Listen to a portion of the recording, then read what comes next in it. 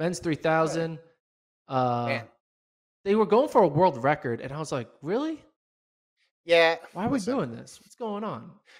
There's yeah. There's world record attempts and there's world record attempts. And especially in the distance side of things, it's so Great easy to call Slime. something. Well, Good it's shirt, true though. Right. It, it it gets hyped and then you can stay on pace for one third of the race. And in a distance race, sometimes that's a long time. And people can just say world record over and over again. But I mean, Komen's mark is is legit. I mean, Aregawi, paid the price. He went out hard and then faded. Uh, got caught by Thierry Ndikumwenayo of Burundi, who ran 725, 93. I mean, fast time. Don't get me wrong. Fast. And that's part of the reason why I don't like when there's just so much world record, world record, world record stuff. Is because then they run like the number four time in history or something. And everyone's like, oh, disappointment out in Monaco. No, it was a great race. And it ended up being a pretty exciting last 100. On the American side of things, Grant Fisher breaks Bernard Lagat's record, uh, American record, and goes 728 48. So Fisher's picking up a lot of records over the last nine months or so. Um, I know that's what I'm thinking about. You think about the indoor 5K, the outdoor 10K. Now you have this outdoor 3K. Getting three three records right this year alone. 3 Mhm. American records yeah, the 10, the 5, and the 3. and three. Okay. Hmm, Maybe I. Could you say that this Nine, is the best eight? shape Grant Fisher will ever be in his career this year? Wait, the best shape he'll be in his career this year?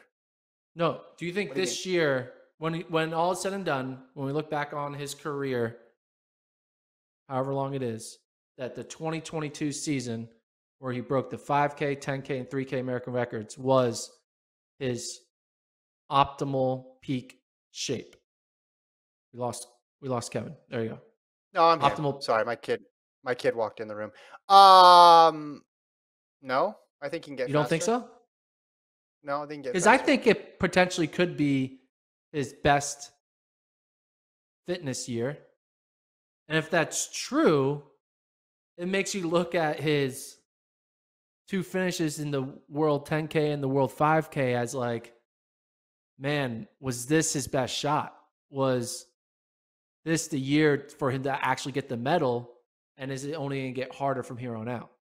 Yeah, but it doesn't really um, don't know. matter. It's like you could be. He could be in a little bit worse shape next year, but the way the last 400 meters breaks differently, and he gets silver or wins the thing. He was in the mix. I think he's in the area now where he's going to, if he stays in that vicinity, he's going to get a medal just based on the fact that it a lot of that stuff just breaks down to on the day. And if he keeps being in the mix, he's going to get a medal eventually. But there's no reason to believe this year he'd be vastly superior than what he can do next year, the year after. He's still pretty young.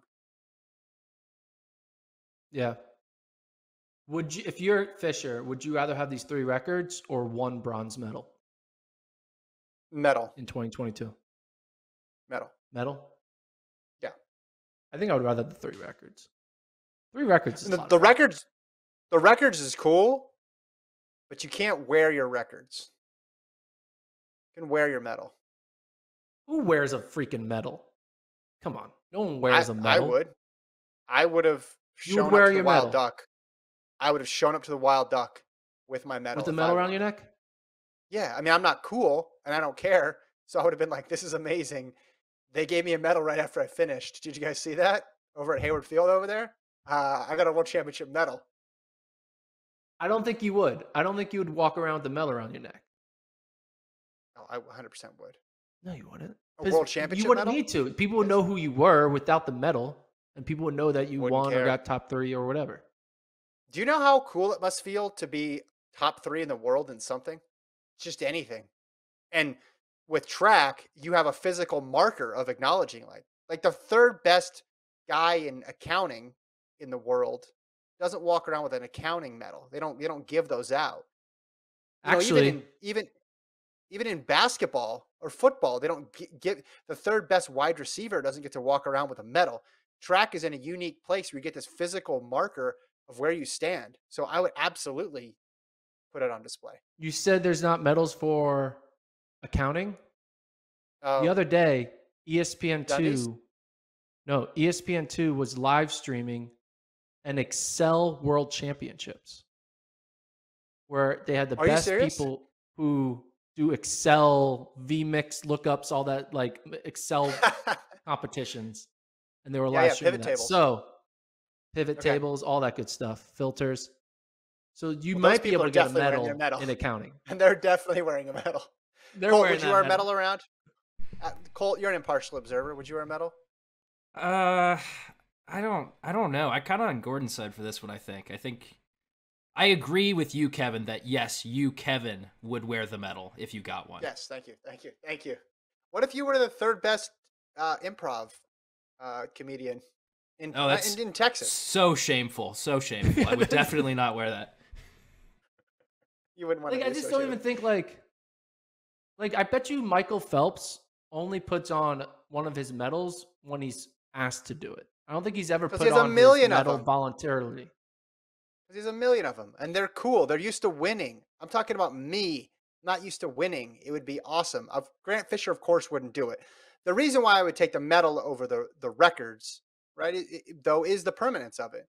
Someone could come along next year, like Woody Kincaid could break some of those records, or Abdihamid Nur could come along and break some of those records. And then, like, do you can you name the top five right now in the men's ten thousand all time? I mean, it, it very uh, quickly yeah. Rupp is probably it there. very quickly changes. there. Yeah. it's cool for a moment.